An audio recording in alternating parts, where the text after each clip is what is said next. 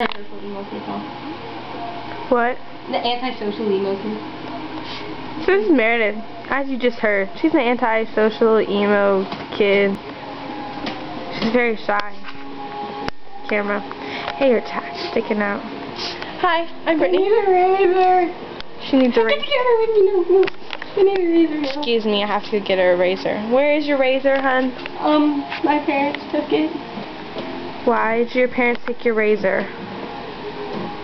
Because I was cutting myself. Why were you cutting yourself? Because I'm an antisocial emo kid. Why are you antisocial? I'm antisocial because I don't like people. Except for you. You're cool.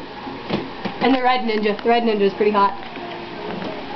But he's kind of mean. And then there's Jesse.